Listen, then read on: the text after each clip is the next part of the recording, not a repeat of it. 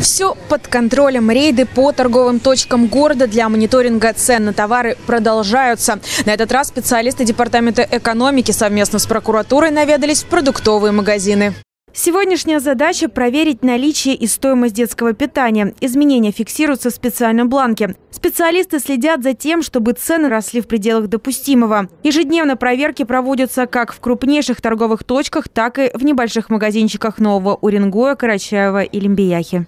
Мониторинг продовольственных продуктов мы делаем ежедневно по ну, продовольственным магазинам. Сейчас мы находимся в магазине «Шаттл», около полочки с детским питанием. Детское питание здесь находится каждый день, кроме сухих смесей. Цены всегда. В общем, я не, обра... не видела, чтобы цены повышались. Сколько вот э, каждый день мы ходим, цены в одно... одни и те же. Не может не порадовать тот факт, что за последние несколько дней сильного скачка цен у сетевиков на детское питание не было. В мелких магазинах стоимость такая же, как и в крупных. Соль та же такая, как в этих угу. в сетевых магазинах, можно сказать, 18-12 рублей. Особое внимание проверяющие уделяют и полкам, на которых лежат социально значимые продукты питания. Это крупы, молочка, хлеб, мука. За последние несколько недель их стоимость заметно подросла. Дефицита в товаре нету. Единственная цена, да. Цены подскочили, ну, примерно процентов 30.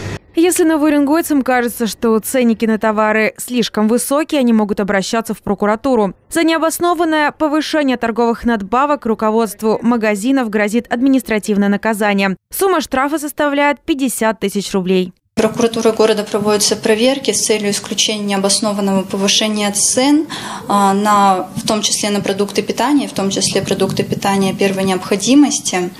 А, при проведении проверок прокуратурой города проверяются закупочная цена от поставщиков, а также установление цен уже действующими торговыми объектами. Рейды по торговым точкам продолжатся. В случае выявления необоснованных цен на товары информация передается в Федеральную антимонопольную службу для дальнейшей проверки. Мария Бохуа, Павел Михайловский, Виктор Итленко, информационное агентство «Импульс Севера».